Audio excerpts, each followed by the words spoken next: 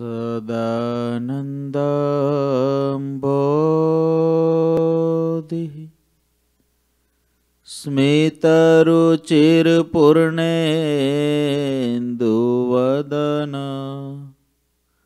प्रफुल्लम्भोजन्मच्छदसदृश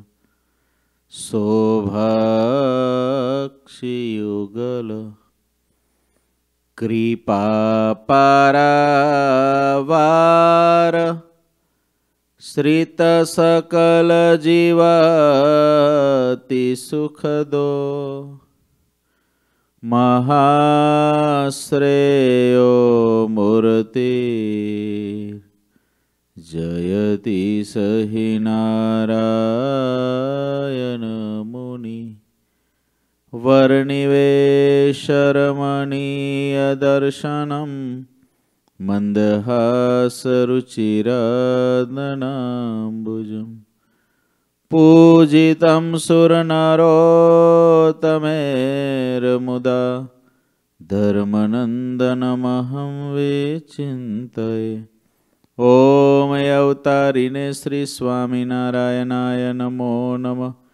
ॐ श्रीहरिकृष्णाय नमो नमः। ઓમ શ્રી પૂર્ણ પુરુષોત્તમાય નમો નમઃ. બોલો શ્રી સ્વામિનારાયણ ભગવાનની, શ્રી હરિકૃષ્ણ મહારાજની, શ્રી ઘનશ્યામ મહારાજની જય. બધા ભક્તોને એથી જય સ્વામિનારાયણ. સદગુરુ નિષ્કુળન સ્વામી ધીરજ આખ્યાન ગ્રંથની અંદર પદ તેર એની અંદર છેલ્લે એમ કે છે જે સાચા સંત છે. એને ભગવાનને અત્યંત રાજી કર્યા છે કારણ કે એને મનની મમતાઓ બધી મૂકી દીધી છે, તનની આશા તજી દીધી છે. એના હૃદયની અંદર હિંમત છે ને હિંમત સહિત એને કામ ક્રોધ લોભાદિકને જીત્યા છે. સ્ત્રી ધન આદિકમાં એને પ્રીતિ નથી. એવા જે ભગવાનના સંત છે, એનો જે સંગ કરે એને ક્યારેય પણ ભગવાનમાંથી એ આત્માને ડગવા દેતા નથી. અને સાચા સંત છે તો સુરવીર છે, ધીર છે, ગંભીર છે.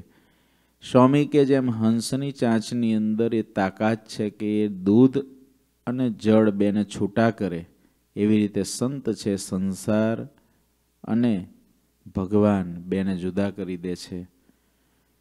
કાંકરાને હીરાઓ જેમ જુદા કરે એવી રીતે એનું પારખું હોય એને જુદું કરી દે, એવી રીતે ભગવાનની મૂર્તિ એના લોક બંનેને જુદા સંત કરી આપે છે આવી સ્વામીએ વાત કરી. આગળ કડવું ત્રેપન, એમાં સ્વામી શનકાદિકોની કથા લખે છે. એવા તો સનકાદિક સુજાનજી, વિષય સુખ દુઃખ રૂપ જાની તજીતાનજી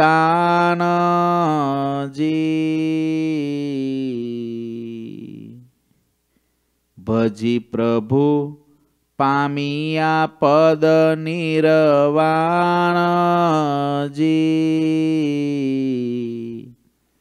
એહ વાત સર્વે પુરાણે પ્રમાણજી સ્વામી કે જે સાચા સાધુની હું વાત કરું છું, એવા સાચા સાધુ તો શનકાદિકો છે. શનકાદિકોની પૂર્વ ભૂમિકા એવી છે કે બ્રહ્માજીએ આખી સૃષ્ટિનું સર્જન કર્યું. બ્રહ્માજીએ નવ પ્રકારની સૃષ્ટિનું સર્જન કર્યું એની અંદર એમને સંતોષ ના થયો. જ્યારે બ્રહ્માજીને સંતોષ નથી થતો, ત્યારે એમને એમના મનની અંદર ભગવાન નારાયણનું ધ્યાન કરીને મન દ્વારા દસમ સૃષ્ટિ એની અંદર આ શંકાદિકોની ઉત્પત્તિ કરી.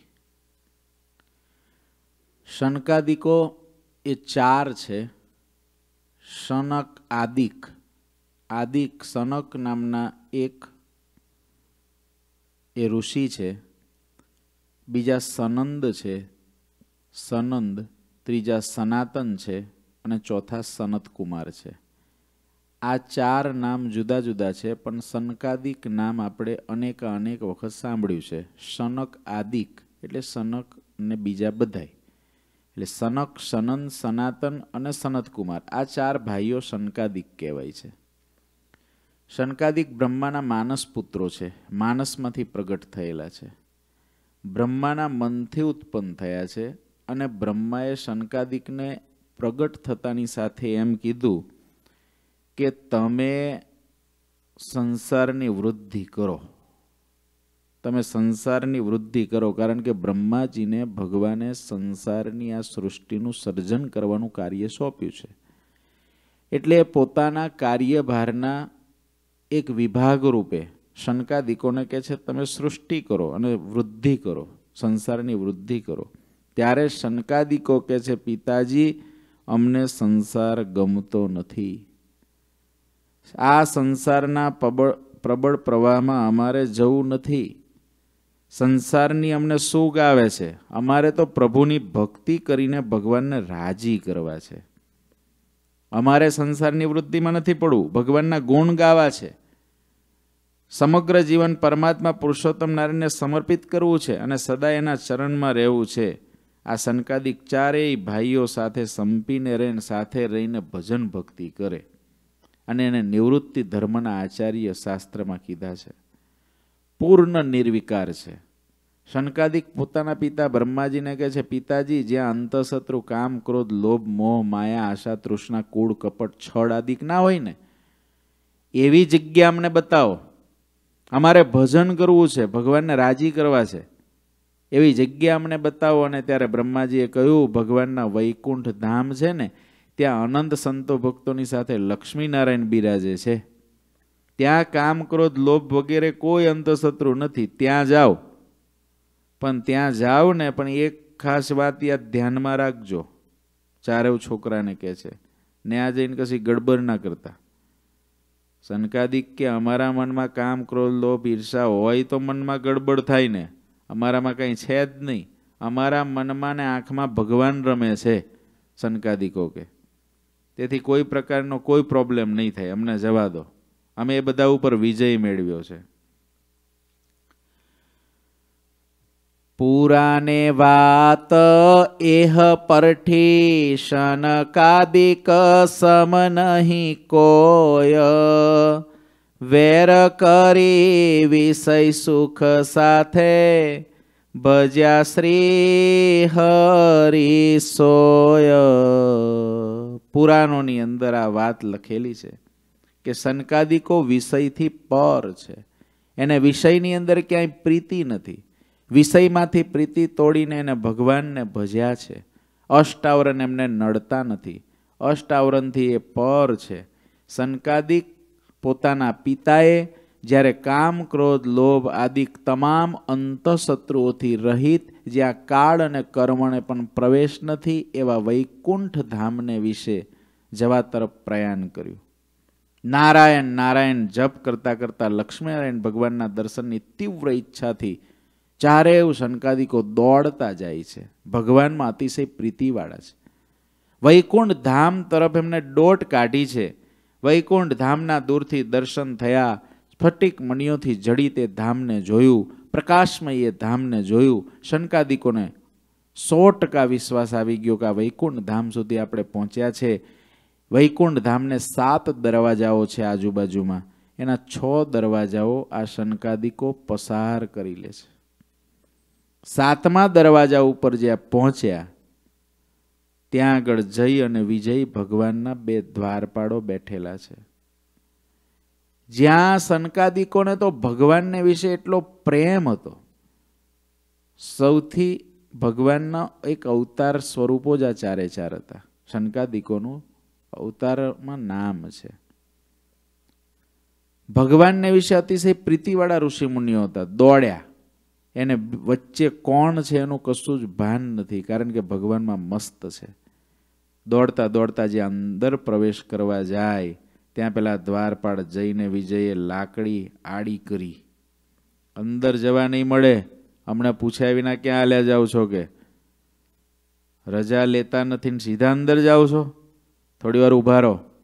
શંકાદિકને થોડો આવેશ આવી ગયો, કારણ કે એ લોકો ભગવાનને વિશે પ્રીતિવાળા એટલા હતા એને એમ થયું કે ભગવાન પાસે જવામાં વિક્ષેપ કરે છે એટલે તરત ક્રોધ આવી ગયો શનકાદિકોને અને ક્રોધ કર્યો અને શનકાદિકો ક્રોધથી બોલ્યા, અમે ભગવાન નારાયણના દર્શન કરવા જઈએ છીએ. શા માટે રોકો છો? અમારું અપમાન કરો છો? જો શનકાદિકોએ બ્રહ્માજીને શું કીધું? અમારામાં ક્રોધ નથી, કામ નથી, લોભ નથી, પરંતુ કોઈક વખત જે વસ્તુ આપણને આપણા જોવામાં ન આવતી હોય, પણ પરિસ્થિતિએ જો ઊભી થાય, તો સમજવું એ મારામાં છે. ઘણીક વખત એવું થાય કે આપણા જીવનમાં કોઈ એવી પરિસ્થિતિ જ ઊભી ન થઈ હોય, તો ન જણાય. પછી પંદર વીસ વર્ષ પછી પરિસ્થિતિ ઊભી થાય ત્યારે જનાનું તો થયું પંદર વીસ વર્ષ સુધી તો કોઈ દી દેખાયું નહોતું આજ ક્યાંથી આવ્યું? ના, એ હતું જ. બીજ રૂપે ક્યાંક ને ક્યાંક પડ્યું હોય. સદગુરુ ગોપાળન સ્વામીની વાતોના અભ્યાસ ઉપરથી આપણને ખબર પડે અવ્યક્ત રાગોના જાડાઓ છે. અવ્યક્ત રાગો, અવ્યક્ત રાગ એટલે જે દેખાતા નથી. ક્યારેક સમયે, પરિસ્થિતિમાં, કોઈ વ્યક્તિના ઉપસ્થિતિમાં, કોઈ સ્થાનની અંદર જવાથી, કોઈ ક્રિયાની અંદર પ્રવૃત્ત થવાથી એ અવ્યક્ત રાગો ક્યારેક ને ક્યારેક પ્રગટ થાય છે, જે અમુક સમયાંતરે પ્રગટ થાય એ અવ્યક્ત રાગ છે. કોઈને ગળ્યું ખાવા રોજ જોવે છે, એ વ્યક્ત રાગ છે, દેખાય એવો રાગ છે. ગળ્યું ખાવા રોજ જોઈએ બધાને દેખાય. વ્યક્ત છે. પોતે પણ જોઈ શકે અને બીજા પચાસ પણ જોઈ શકે કે અમને તો રોજ ગળ્યું ખાવા જોઈએ છે. એ વ્યક્ત રાગ છે. પણ અવ્યક્ત રાગ એવા છે કે જે કાળાંતરે ક્યારેક પ્રગટ થઈ જાય. સૌભરીને જે સાઠ હજાર વર્ષે પ્રગટ થયું ને, એને અવ્યક્ત રાગ કહેવાય. સાઠ હજાર વર્ષ સુધી કોઈ યમુનાના ધરામાં ઊભો હોય અને તપ કરતો હોય, ત્યારે આખી સૃષ્ટિના તમામ સજ્જન પુરુષોને ઋષિમુનિઓ તમામને એમ થઈ જાય કે આ નિર્વિકાર પુરુષ છે. આમાં કોઈ જાતનો ક્યારેય પ્રોબ્લેમ થાય એવો નથી, છતાં પણ અવ્યક્ત રાગ જો રહેલો હોય, તો સાઠ હજાર વર્ષે પણ વોટ્સએપ અને આજના આ ઇન્ટરનેટથી નહીં, યમુનાના ધરા, પવિત્ર યમુના જેવી નદીની અંદર પણ તપસ્વી ઋષિનું પતન થાય એમ શાસ્ત્રોમાં લખાનું છે, અવ્યક્ત રાગ એટલા ખતરનાક છે. આપણે તો હજુ વ્યક્તમાંથી જ બહાર નીકળવાનું છે. અવ્યક્ત તો પછીની વાત છે. વ્યક્ત જે દેખાય છે, આપણી નજરની સામે છે, અનુભવાય છે.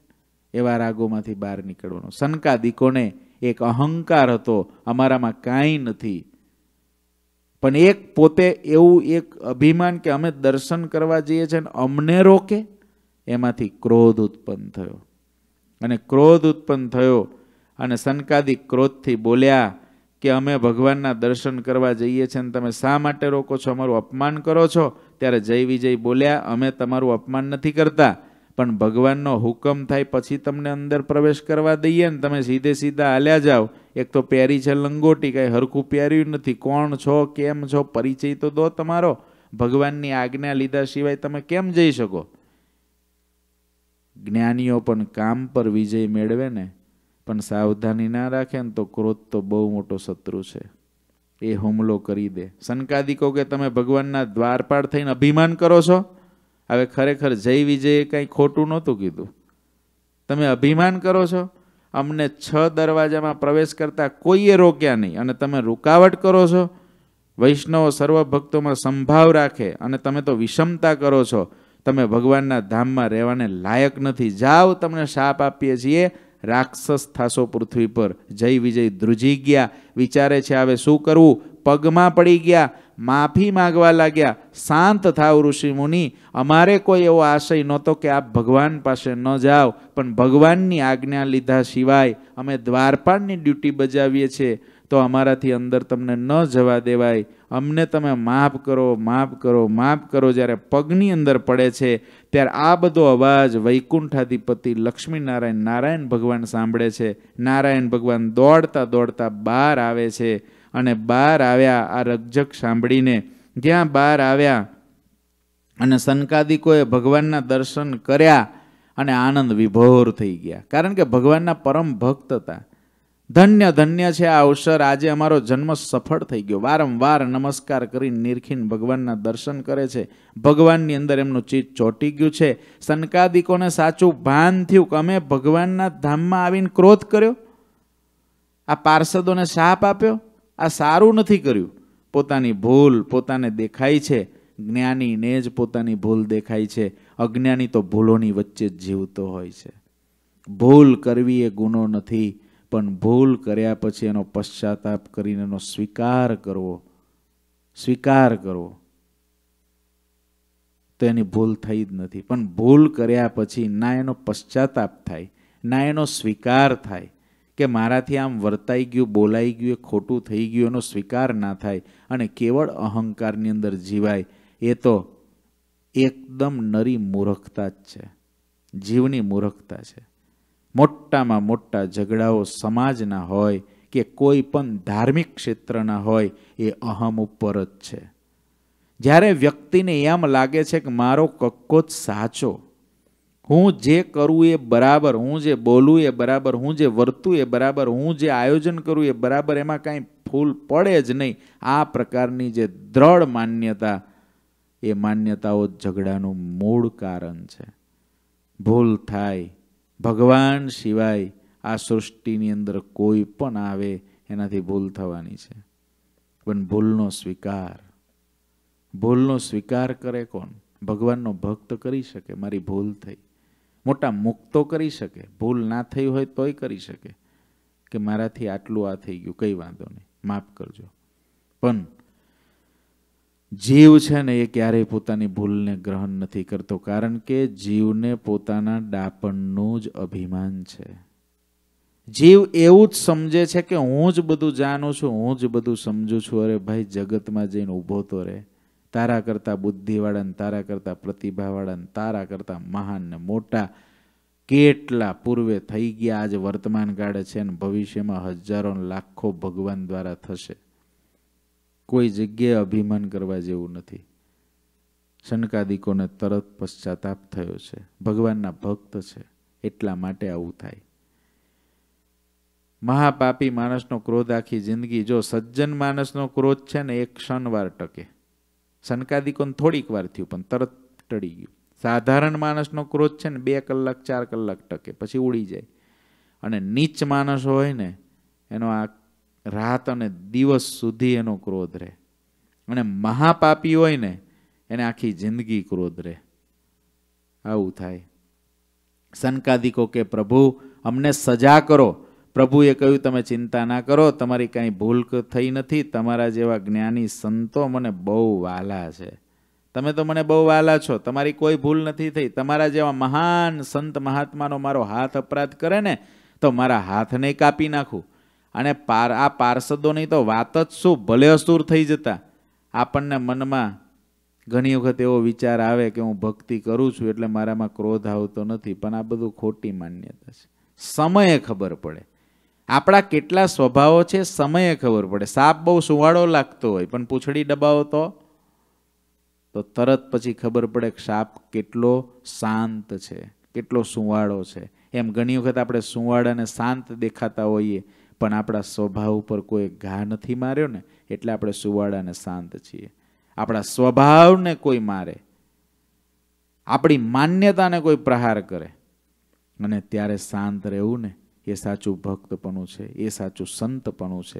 અને એ મેળવતા વર્ષોના વર્ષો સુધીનો વિચાર માગી લે છે, વર્ષોના વર્ષો સુધીનું જીવન માગી લે છે.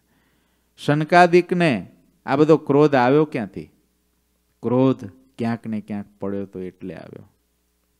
આ બાજુ ઉપર શનકાદિકોને પસ્તાવો થાય છે, બે હાથ જોડીને કહે છે, પ્રભુ, અમારો શાપ મિથ્યા કરી નાખો. ભગવાન બોલ્યા ત્રણ જન્મ સુધી અસુર થશે, પછી વૈકુંઠધામને દરવાજે પાછા પાર્ષદ થઈને દ્વારપાળ તરીકે સેવા કરશે. એ જય વિજય ત્રણ જન્મ સુધી અસુર થયા. પહેલા જન્મમાં હિરણ્યક્ષને હિરણ્યકશિપુ થયા, બીજા જન્મમાં રાવણને કુંભકર્ણ થયા અને ત્રીજા જન્મમાં શિશુપાળને દંતવક્ર થયા. પછી પાછા જ્યાં હતા ત્યાં જય વિજયના, જય વિજય રૂપે પાછા પાર્ષદ તરીકે રહ્યા. આના દ્વારા ભગવાને પ્રસ્થાપિત એ કર્યું. શ્રીજી મહારાજ વચનાવતમાં કહે છે, જો મારા સંકાદિક જેવા સાધુને દુખવ્યા અને એનો દ્રોહ કર્યો, તો ભગવાનના ધામમાં બેઠા હતા તો એ ત્રણ જન્મ અસુરના પૃથ્વી પર ધરવા પડ્યા. માટે ક્યારેય પણ ભગવાનના સંત કે ભક્તના દ્રોહમાં પડવું નહીં. બે હાથ જોડીને વંદન કરી લેવા. આપણને જો વિશ્વાસ હોય તો એ સંત કે ભક્તની પાસે જઈને એનો સમાગમ કરવો. એની પાસે જઈને બેસવું. આપણને વિશ્વાસ ના હોય તો દૂરથી વંદન કરીને પણ આપણે આપણા કલ્યાણના માર્ગે ચાલ્યા કરવું. કોઈનું એનાલિસિસ કરવામાં, કોઈને સંશોધન કરવામાં આપણું આખું મનુષ્ય જીવન ખલાસ થઈ જાય છે. એવા ખલાસ થયેલા પૂર્વે હતા, વર્તમાન કાળે છે અને ભવિષ્યમાં પણ લાખો ને હજારો હશે. કોઈનો દ્રોહમાં, મહારાજ કે જીવ પ્રાણી માત્રના દ્રોહમાં ના જવું. દ્રોહ કર્યો એટલે સમજવું પૂરું થઈ ગયું. ગમે એટલો બળિયો હોય, ગમે તે આશ્રમમાં હોય, ગમે એટલી શક્તિવાળો હોય, પણ એનું પતન થઈ જાય છે. દ્રોહમાંથી પતન થાય છે. એક વ્યક્તિ એવો દ્રોહી, એને એટલો મોટો દ્રોહ થયો, પણ પશ્ચાતાપ થયો. પશ્ચાતાપ થયો. બહુ મોટા સત્પુરુષનો દ્રોહ કરેલો, બહુ મોટા સત્પુરુષનો. એટલું બધું રડે એ વ્યક્તિ, એટલું રડે. કે હું રોજ આટલી માળા કરું છું, રોજ આટલી પૂજા કરું છું, ભક્ત ચિંતામણીના આટલા પાઠ કર્યા છે, તો પણ સ્વામી મારે અન્ન દાંતને વેર થઈ ગયું છે. સો માળા કરું છું તોય ભગવાન હામું નથી જોતા. ભક્ત ચિંતામણીના અગિયાર અગિયાર પાઠ કરું છું તોય ભગવાન હામું નથી જોતા. રડે. મને કોઈ પણ રીતે આનું પ્રાયશ્ચિત અપાવો. મને ખબર છે કે હું આટલું કરું છું તો પણ કેમ મારે આટલું બધું દુઃખ આવે છે? એની પાછળનું કારણ એક જ દેખાય છે કે મેં સત્પુરુષનો દ્રોહ કર્યો છે.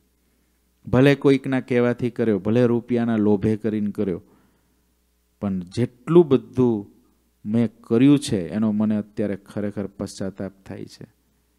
ત્યાં સુધી કે હું આત્મઘાત કરવા તરફ જઈ રહ્યો છું પણ મને એમાંથી બચાવી લો. આત્મઘાત કરવા જઉં છું, પણ એ પહેલાં મારે પ્રાયશ્ચિત કરીને મરવું છે.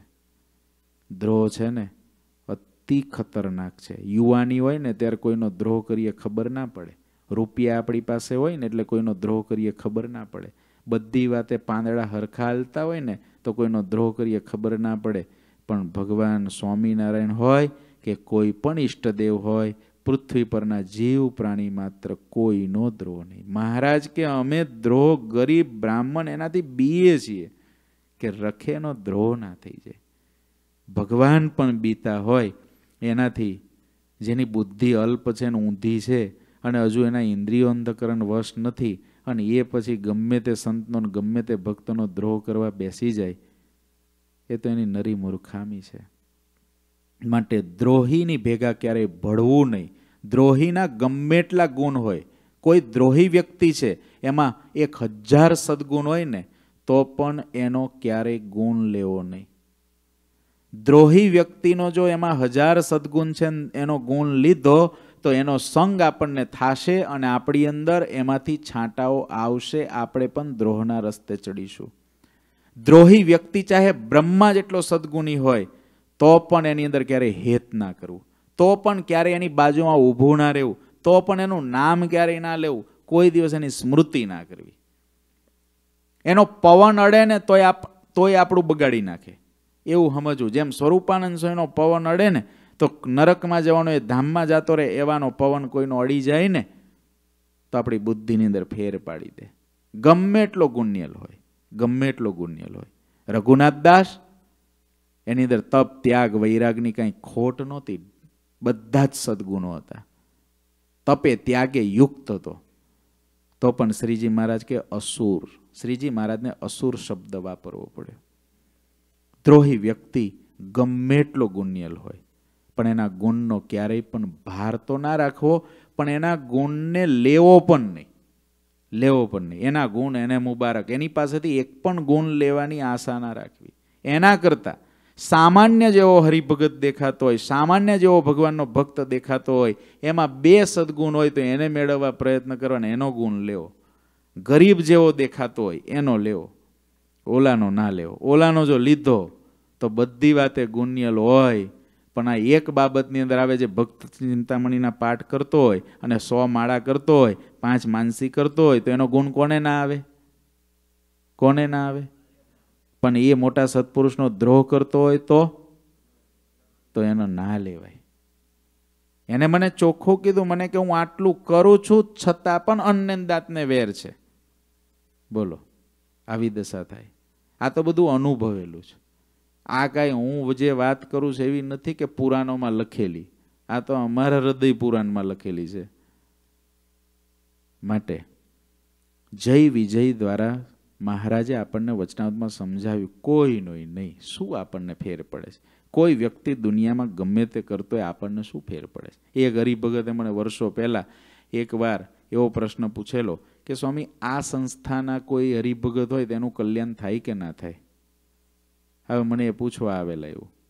મેં કીધું, એ રહેવા દો. મારું તમારું થશે કે નહીં એ પૂછો. આપણું કેવી કરી, કેવી રીતે કલ્યાણ થાય એ પૂછો, એનું શું થશે એ એને જોવાનું છે. પણ આપણે કલ્યાણના રસ્તે હરખા છીએ કે નહીં એ આપણે જોવાનું છે. આપણું, આપણો રાઈટ આપણા જીવનને કેળવવાનો છે, કોઈના જીવન પર એનાલિસિસ કરવાનો આપણો રાઈટ જ નથી. આપણો રાઈટ આપણા જીવન ઉપર છે. આપણી સ્વતંત્ર, આપણા જીવનને કેળવવા માટેનો આપણી પાસે અધિકાર છે. બીજાના જીવનને કેળવવાનું બીજાના જીવનનું એનાલિસિસ કરવાનો અધિકાર પરમાત્માએ આપણને દીધો જ નથી. હા જેની પાસે પાંચ ભગવાનના સંત ભક્ત રહેતા હોય અને જેની જવાબદારી હોય એવા મોટા પુરુષો, એવા મોટા સંતો ભક્તો કામ કરતા હોય. આપણે શું? આપણે આપણું ભજન કરીને પાર પાડવું. આપણા પરિવારની અંદર તો બહુ સારી સમજણ છે, છતાં પણ ક્યારેય આપણી બુદ્ધિ વિચલિત ન થાય. કલ્યાણના માર્ગેથી આપણે ક્યારેય પડીએ નહીં. માટે જય વિજયની કથાથી ક્યાં ભગવાનના ધામમાં બેઠેલા અને ક્યાં શંકાદિકોનું અપમાન કરતા ત્રણ જન્મ અસુરના થાય અને કેવી ભયંકર અસુરપણું એમાં આવે, એ આપણે રાવણ આદિકની કથાઓ સાંભળી, એમાં સાંભળેલું છે. મહારાજે અહીંયા આગળ ભગવાને કીધું કે આ લોકો તો અસુર થશે, પણ શંકાદિકોને કીધું કે તમને મારા ધામમાં પ્રવેશ નહીં મળે.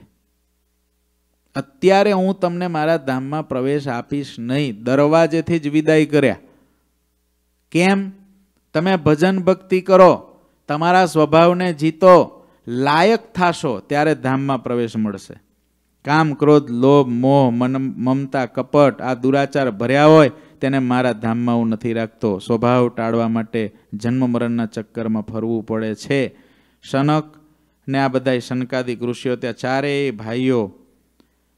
પછી તો ત્યાંથી પરત જઈ અને જંગલમાં જઈને તપ કરવા લાગ્યા. કેમ? ભગવાનને રાજી કરવા, ભગવાનના ધામમાં રહેવા. જેહ સુખ સારું શિવ બ્રહ્મા, સુર અસુર નર ભૂખ્યા બમે તેહ સુખ સનકાદિકને સ્વપ્નામાં પણ નવ ગમે. જે સુખ સારું બ્રહ્મા અને શિવ, દેવતાઓ અને અસુરો મનુષ્યો બધાય ભૂખ્યા ભમે છે. એ સુખ શંકાદિકને સ્વપ્નામાં પણ ગમતું નથી. વિચારો શનકાદિકો કેવા? જે વિષયના સુખ બધાઈને ગમે છે, એવા વિષયના સુખથી શંકાદિકો વિરક્ત છે. એક પરમાત્માના સ્વરૂપની અંદર રહેવું આવી જ એની ખેવના છે. શનકાદિકોનું પાત્ર તો મારા તમારા ઉપદેશ માટે છે. એ તો ભગવાનના અવતાર સ્વરૂપોમાં આવે છે. એને ક્રોધ થયો કે જય વિજય જે થયું, આ બધું તો મારા અને તમારા જીવનને કેળવવા માટે ભગવાનની લીલા છે. લીલા છે. સનકાદિકોને અંદર કોઈ પ્રકારનો દોષ હતો જ નહીં. એ તો નિર્દોષ છે. નિર્દોષ છે. જય વિજય જેવા જે પાર્ષદો ભગવાનના ધામની અંદર બેઠેલા હોય, ત્યાં સુધી પહોંચ્યા નિર્દોષ છે. એમનો જે પાત્ર ભજવ્યું છે, એ બધું જ પાત્ર આપણા જેવા પાછલા મુમુક્ષુઓને કલ્યાણના માર્ગમાં વિઘન ન આવે, નથી આપણે શનકાદિક જેવા, નથી આપણે ભગવાનના પાર્ષદો થયેલા, આપણે આ ભવાટીની અંદર ફરતા ફરતા મોટા સદગુરુએ આપણા કાંડા ઝાલ્યા અને આપણને જ્યારે આવા દિવ્ય સત્સંગમાં લીધા છે, ત્યારે આવી દિવ્ય સત્સંગરૂપી મૂડી, આ દિવ્ય સત્સંગરૂપી હીરો આપણા હાથમાંથી જતો ન રહે. એના માટેની તકેદારી રહે, એના માટે આવી ઘટનાઓ ભગવાનના ધામની અંદર પણ ભગવાને કૃપાએ કરીને કર્યું છે. આ બધા સંકાદિક આદિક આવા મહાન ઋષિમુનિઓએ આવા મહાન મુક્તાત્માઓએ આપણા કલ્યાણને અર્થે આપણને વિઘન ના આવે એટલે આવા ચરિત્રો કર્યા છે. પછી એ તો જે બ્રહ્માને અને આ બધાય દેવતાઓને બધાને જે ગમે છે, એમાંથી સનકાદિકો વિરક્ત છે.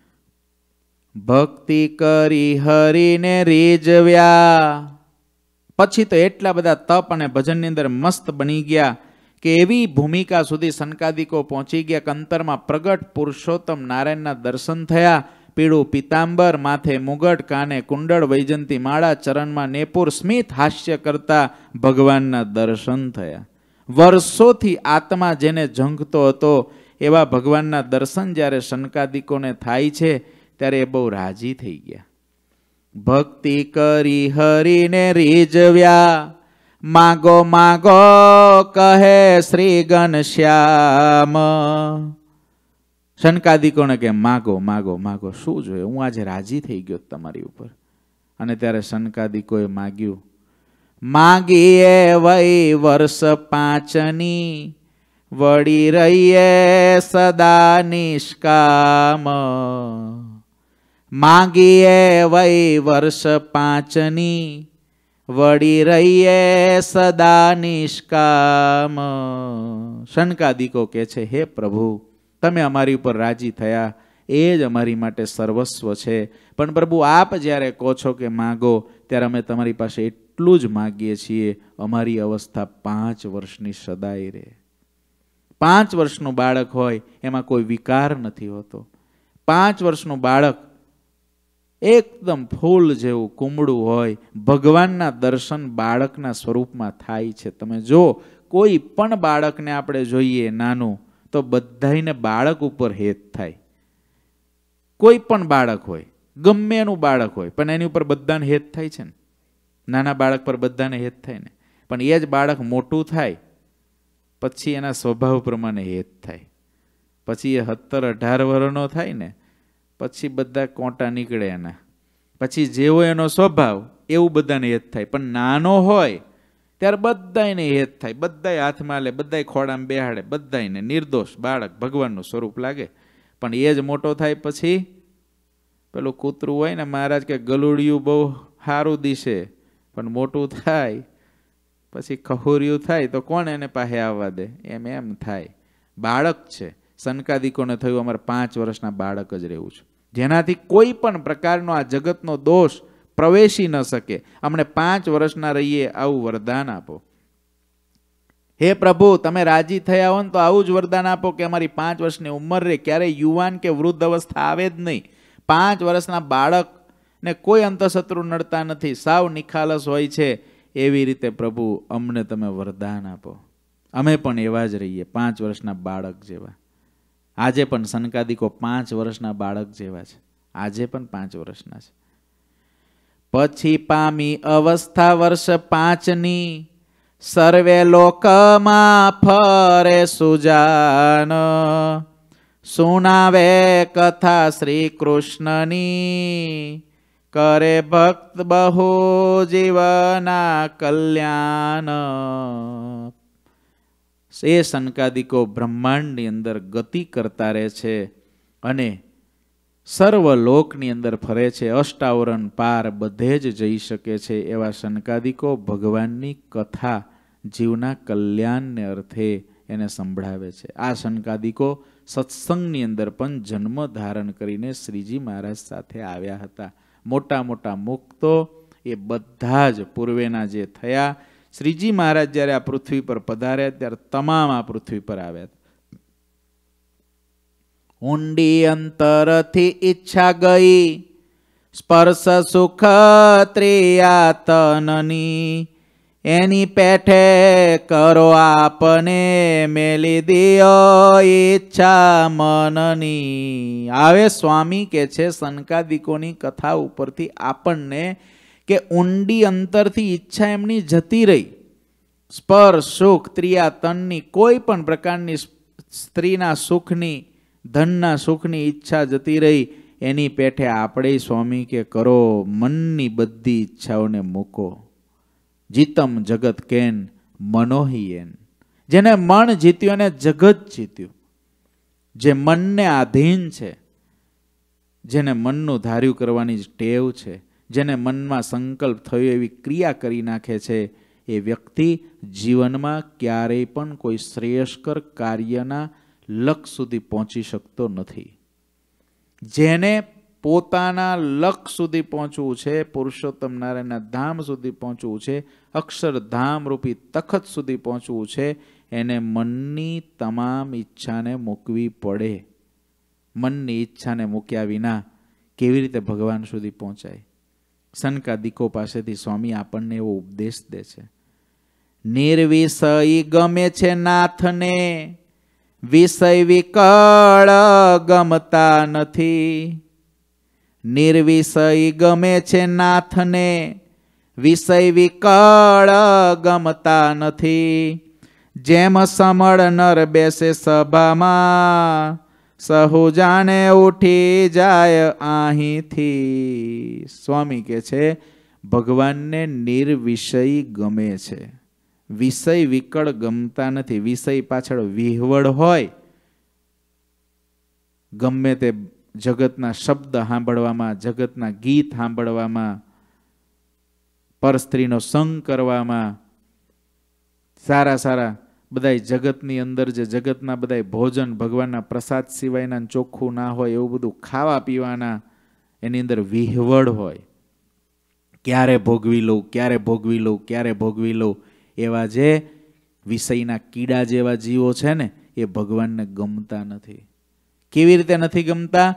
તો સ્વામી કે જેમ સમળ નળ સમળ નળ એટલે કોઈ ગંદો વ્યક્તિ, કપડાં ગંદા હોય, એના શરીરની અંદરથી પરસેવાની ગંધ આવતી હોય, વિષ્ટાને મૂત્રની ગંધ આવતી હોય, પરુ, પાક ને બધું એના શરીરમાં ભરેલું હોય, એવો ગંદો વ્યક્તિ કોઈ આવીને બેસે, તો એની બાજુમાં બેસવું કોઈને ગમતું નથી.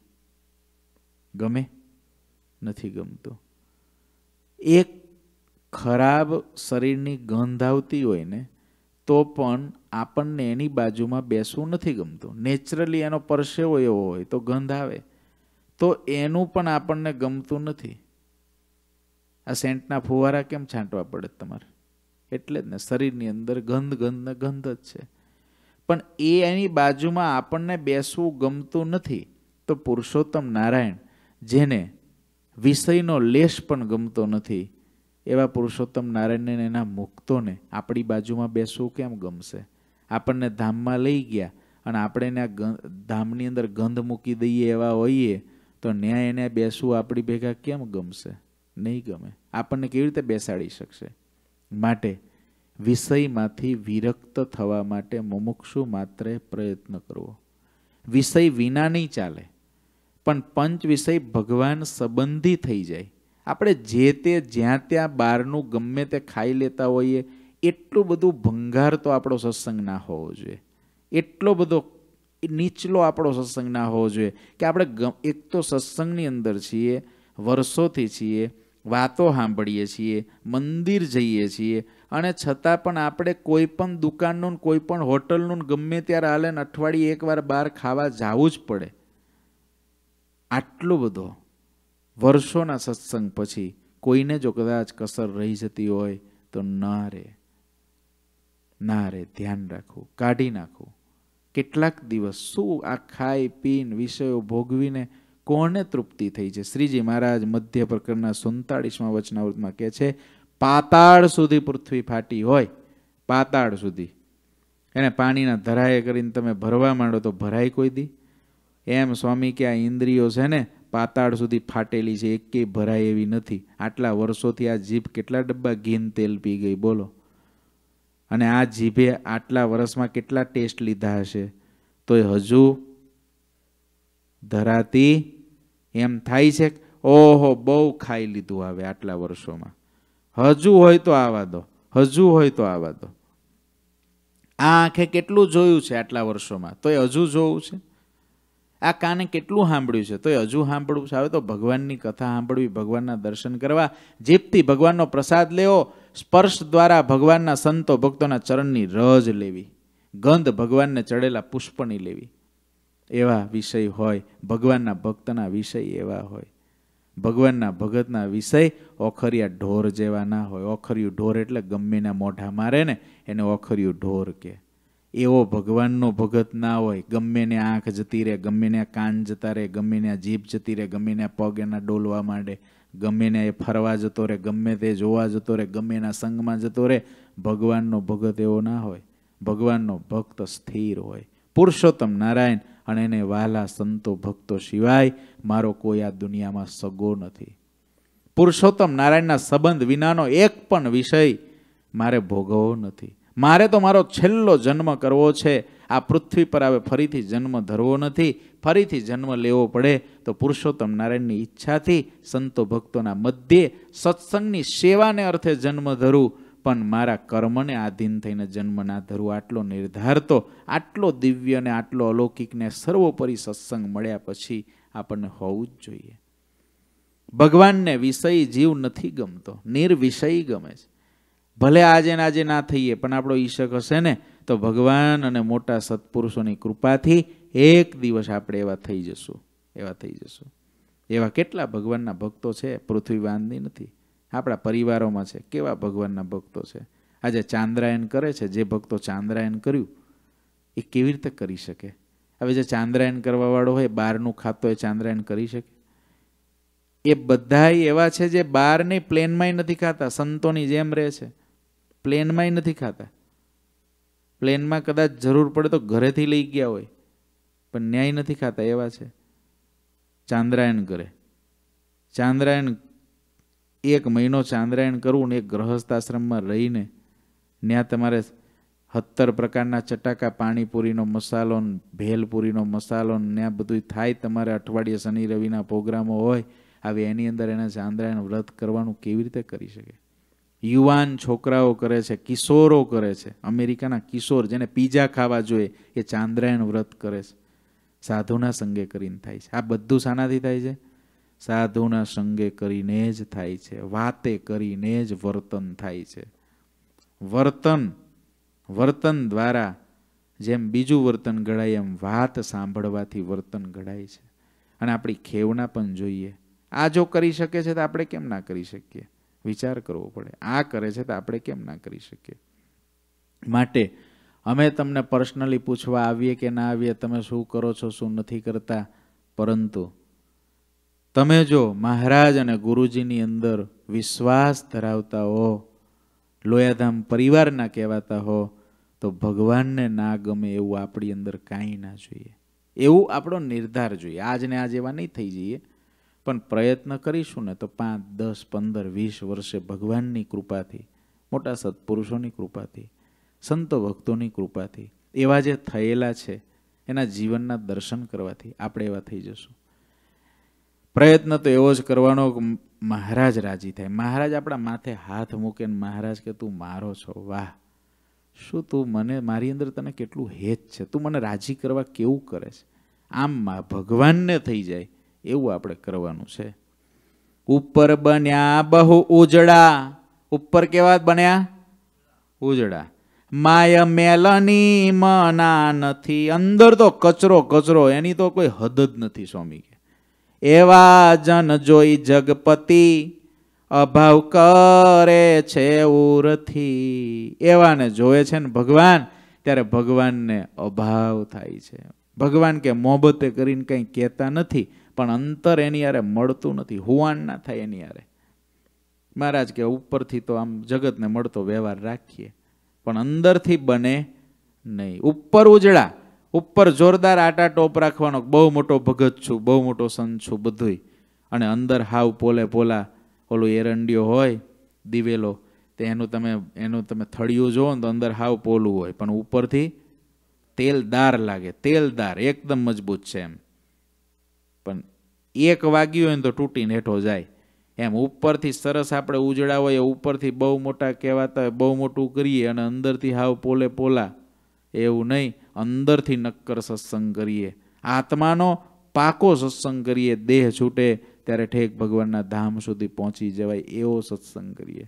ઉપરના આટા ટોપે કાંઈ થતું નથી, કશું જ થતું નથી. હું ગમે એટલી મોટી વાત કરી દઉં ને પણ જો અંતરમાં કાંઈ ના હોય ને તો એ કશો ફાયદાકારક મને ન થાય. કશું જ ના થાય. પાંચ જણ કે બહુ સારી વાત કરી એનાથી કશો ફાયદો નથી. કોઈ ફાયદો નથી. આત્માનો શું ફાયદો? કોઈ ફાયદો નથી. માટે આપણે નક્કર સત્સંગ કરીએ. અંદરનો સત્સંગ કરીએ. અને વિચારપૂર્વક થાય છે. વિચાર વિના નથી થતો. વિચાર કરવો પડે. ઈચ્છાઓ અનેક ઉર્મા, ખાનપાન, સ્પર્શ સુખની એવા ભક્તની ભક્તિ હરિવદે નહીં વિમુખની. ઈચ્છાઓ બહુ પ્રકારની અનેક હૃદયમાં રાખી છે, ખાવાની, પીવાની, સ્પર્શની. જો લાગ આવે ને તો આ ખાઈ લઉં. લાગ આવે ને તો આવું જોઈ લઉં. લાગ આવે ને તો આવો સ્પર્શ કરી લઉં. લાગ આવે ને તો આવું સાંભળી લઉં. જે લાગને ગોતતો હોય, લાગને ગોતતો હોય કે આ તો બધા સમુદાયમાં છું, પણ એકલો પડું તો બધું કરું. એવો જે હોય ભગવાન છે ને એના વખાણ નથી કરતા. ભગવાનને એવાનો અભાવ જ રહે છે. એવા ભક્તની ભક્તિ હરિ વદે નહીં વિમુખની. ભગવાનના વખાણે એની ભક્તિ. કોઈ મોટા સત્પુરુષના વખાણે એની ભક્તિ. ગમે એટલી કરતો હોય તોય ના વખાણે. કારણ કે ઉપરથી છે ઉપરથી છે. અંદર કંઈક જુદું છે. મેં ના કીધું આટલી માળા કરે ને આટલું ભક્તને પાઠ કરે, પણ અંદરથી પોલો હોય. બીજાનો દ્રોહ કેવી રીતે થાય? જીવ પ્રાણી માત્રનો કોઈ ભગવાનનો ભક્ત દ્રોહ કરી જ ના શકે. પોલો હોય, વિષય સુખમાં આસક્ત હોય, પણ ઉપરથી સરસ બધું બનાવ્યું હોય. ઉપરનો આટાટોપ એટલો જોરદાર હોય કે કોઈ એ માયાવીની માયાને કળી ન શકે. ગોપાળન સ્વામી વાતોમાં કહે છે, ના કળી શકાય. પણ આપણે એવા માયાવી ના થવું. આપણે એવી માયાના, એ હંમેશા કોઈ વ્યક્તિ કોઈને છેતરતો નથી. કોઈને ભગવાન અને ભગવાનના સત્પુરુષને છેતરવા વાળો વ્યક્તિ પોતાની જાતને જ છેતરે છે. સત્સંગના સંતો ભક્તોને છેતરવા વાળી વ્યક્તિ પોતાની જાતને જ છેતરે છે. સામાન્ય, ભાવુક, ગરીબ જેવા જનાતા સંતો ભક્તોને છેતરવા વાળો વ્યક્તિ પોતાની જાતને જ છેતરે છે. એક નાના બાળકને છેતરવાળો વ્યક્તિ પણ પોતાની જાતને જ છેતરે છે. કોઈ દિવસ છેતરપિંડી કરવાવાળો બીજાને નથી છેતરી શક્યો, એ પોતાને જ છેતરે છે. માટે પોતાની જાત સાથે ક્યારેય અન્યાય ના કરવો? પોતાની જાત સાથે અન્યાય કરવો, પોતાની જાત સાથે છેતરપિંડી કરવી, એનાથી મોટો આત્મઘાત બીજો કોઈ નથી. એ આત્માનો ઘાત જ છે. પોતાની જાતને સુધારવી, પોતાની જાતને ખરેખર પુરુષોત્તમ નારાયણને ગમે એવી બનાવી પંચ વિષયની પટારીઓ ઘણી ઘાટે બરી ગટમાય. પંચ વિષયના પટારાઓ, શબ્દ, સ્પર્શ, રૂપ રસ ને ગંધના, એ બધાય સ્વામી કે છે અંતરની અંદર ઢગલા બંધ ભર્યા છે પંચ વિષય. નિષ્કુળન સ્વામીની વાત જબરી ભારે હોય નહીં, કેટલી ભારે વાતો સ્વામીની. જો તો ખરા સનકાદિકોની ચાર કડી લખી, નહીં તો આપણને જ ધોકાયા છે. છ કડીમાં તો આપણું જ લખ્યું છે, બાકી ચાર જ કડી ઓલાની લખી. ચાર કડી ઓલાની લખીને છ કડી આપણા માટે લખી. કેટલા દયાળુ પુરુષ છે?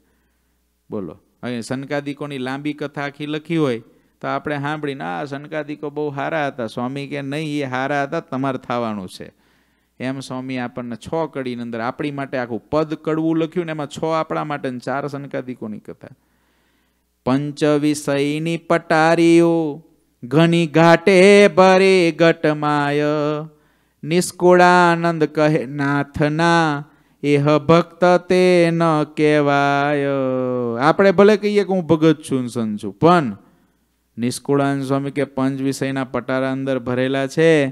તો એ ભગવાનનો સાચો ભક્ત કહેવાય નહીં. ભગવાનનો ભક્ત તો ભગવાનની મૂર્તિથી ભરપૂર હોય, ભગવાનની સેવાથી ભરપૂર હોય, ભગવાનના અભિપ્રાયોથી ભરપૂર હોય, ભગવાનને ગમતા જીવનથી ભરપૂર હોય, ભગવાનને ગમે એવા શાસ્ત્રના વાંચન અને સત્પુરુષોના સંગથી ભરપૂર હોય, એ ભગવાનનો ભક્ત છે. વિષયના પટારાઓ ભરીને બેઠેલો છે. એ ભગવાનનો ભક્ત નથી. આવું સ્વામી આપણને એક સાચા સંત ભક્ત બનવા માટેનો શંકાદિકોના ચરિત્ર દ્વારા આપણને ઉપદેશ આપે છે. અહીં આગળ કડવું ત્રેપન પૂરું થયું છે. ઘનશ્યામ મહારાજની જે શ્રી પતિમ શ્રી ધરમ સર્વદેવેશ્વરમ ભક્તિધર માત્મજમ, વાસુદેવમ હરે માધવમ કેશવમ કામદમ કારણમ સ્વામિનારાયણમ નીલકંઠમ ભજે ઘનશ્યામ